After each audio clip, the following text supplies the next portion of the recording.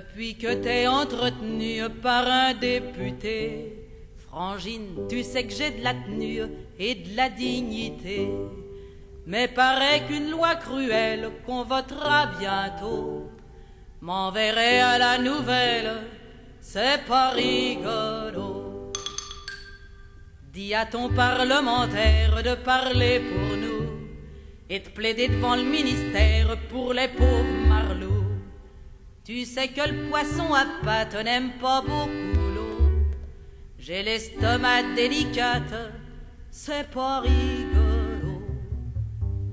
Quand ces ventrutes de la haute classe me traitent de feignant, je voudrais les voir à ma place dans le corps enseignant, s'en aller à l'amour comme d'autres à leur bureau. Ça vous démolit un homme, c'est pas rigolo.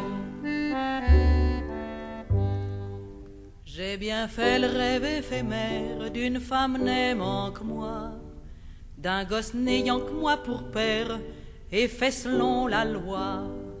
J'aurais pris une ouvrière au front pur et beau, mais crever tous deux de misère, c'est pas rigolo.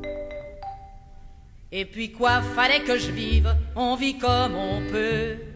Y a pas que le marlouk arrive par les femmes morbleues.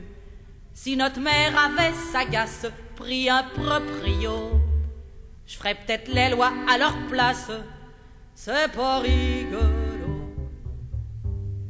Dis tout ça, frangine que j'aime, mais il de la chaleur.